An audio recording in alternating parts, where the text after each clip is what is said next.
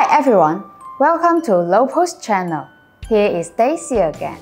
It is glad to see you again in today's video. Today, I will talk about the Charpie Christmas stocking for pets. It is bone-shaped and has softer texture.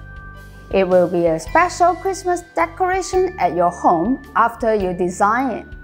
You can DIY it for your lovely pets. Okay, let's go for the design part. You must have a template before you start designing.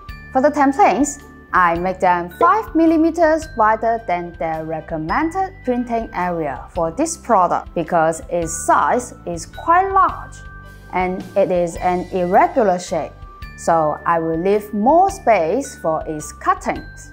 Next, based on these templates, let's talk about what kind of design will be suitable for it. You can see the shape of it is not easy for design. Here are some design tips I would like to share with you. First, make sure your design is in the safety area, the orange area. At the same time, your design background is not beyond the print area, the blue area. That will help match your printing position and shape.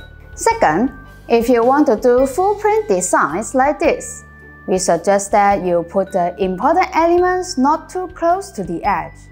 Please take care of the edge when you're doing design because the edge is double layer and thicker than other area.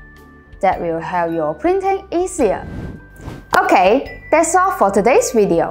This is Daisy from Lopo and hope today's video is helpful for you.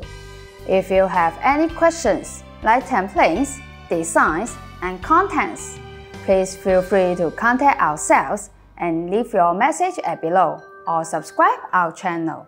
You will always get reply from us. Join us, let's make life memorable!